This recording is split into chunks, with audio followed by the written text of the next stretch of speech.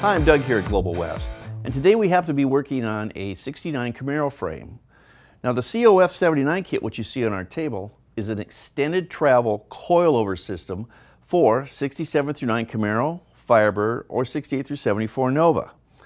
The extended travel, that terminology is based off the fact that we're raising the height of the shock and spring combination so we get more travel. We can lower the car down further if we choose to and still maintain shock travel and spring travel without a bottoming condition. The COF 79 requires a frame modification. So we happen to have this 69 frame back here and we're going to be installing this and we decided to take a minute and show you exactly what we do to get this on that frame for that extended travel. One of the first things you want to do is measure 3 eighths of an inch over on the upper frame mount. That's from the engine side out. Draw a good line there because that's going to be your cut point. Now if you can see us using a yellow marker, it's a lot easier to see when we're cutting. The center section of this has to be removed because that's where we're going to put the extended travel mount. And you can see us cutting it there. Nice straight line going through. Popping it out.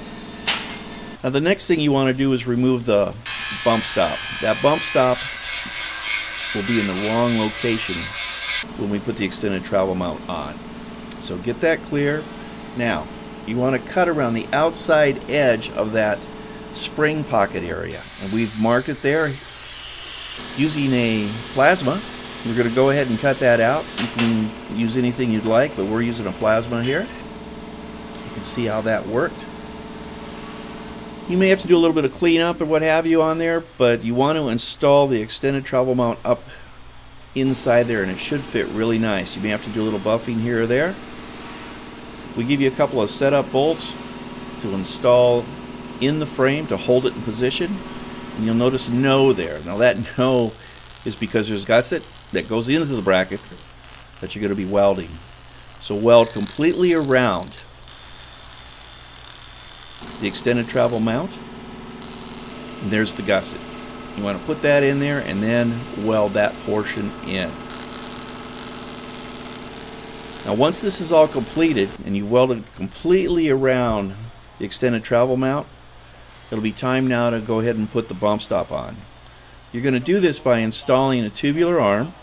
As you can see, it's putting our control arm on. It's a CTA 79A. You're going to put two eighth inch shims that's the setup on the upper control arm. That'll help position the bump stop. Once you've got the eighth inch shims installed, swing the control arm down and you're going to mark the center line of the bump stop to the frame. You'll notice us doing there. And the cross there. So that's actually where the bump stop is going to hit the frame. Now in the kit we give you two bump stops that you'll be welding to the frame. You can see it there. You're going to use that, and on center line, you're going to position that on the frame. Tack it, and of course, after you tack it, you're going to double check to make sure that bump stop is hitting it properly. So just swing that arm down and make sure that everything's in alignment. If everything's good, go ahead and weld it to the frame. Now once you get that welded, sometimes you may have to do a little bit of buffing to make sure the bump stop hits that properly.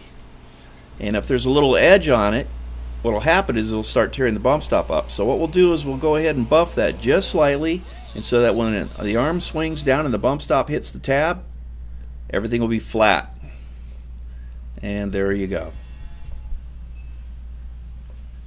All right, as you can see, installing the COF 79 kit is not that difficult.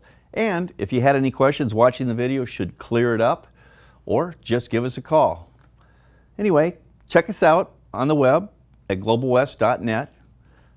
COF 79, 67 through 9 Camaro Firebird, and 68 through 74 Novas. Extended travel, something you may want to check out.